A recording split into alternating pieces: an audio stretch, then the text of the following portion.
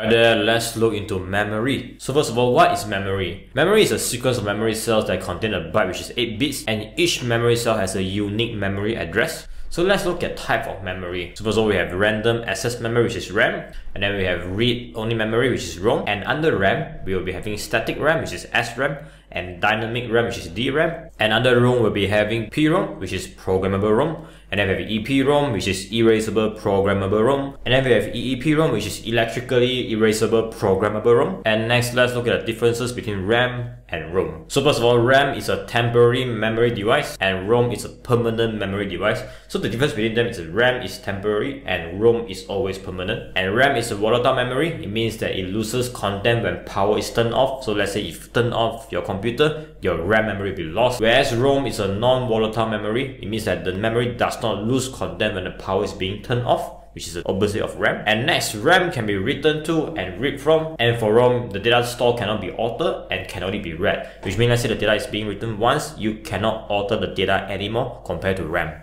And RAM is used to store currently running software data or part of OS, whereas ROM is to store startup, boot up instruction, or BIOS which stand for basic input slash output system. So under RAM, you have SRAM and DRAM as shown on this picture on the top right corner here. So RAM, you have static RAM and dynamic RAM. And let's look at their differences. So first of all, SRAM uses transistor arranged as a flip-flops or latches, whereas DRAM actually uses transistor and capacitors. Next, SRAM does not need to refresh, hence faster data access time and less power, whereas DRAM need to refresh means that it has slower data access time and more power. SRAM has lower memory capacity compared to DRAM which has higher memory capacity. SRAM is used in cache memory, whereas DRAM is actually used in main memory. So it means that DRAM is used in main memory, it needs to refresh, hence slower data access time, but it has higher memory capacity, whereas SRAM doesn't refresh and has faster access time, but it has a low memory capacity and always being used in cache memory. And finally, SRAM is more expensive to manufacture due to more complex circuitry,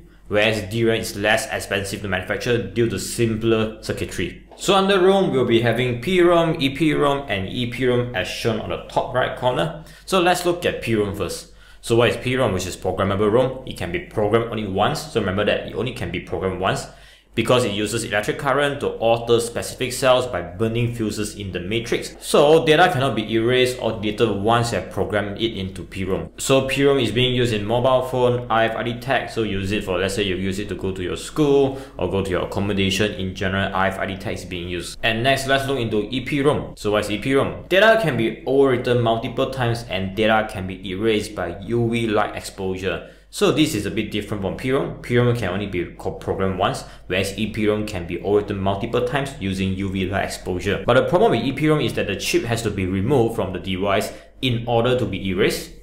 It's actually used in programming of new game consoles during development phase. And lastly, let's look into EEPROM. So what is EEPROM stands for Electronically Erasable Programmable ROM.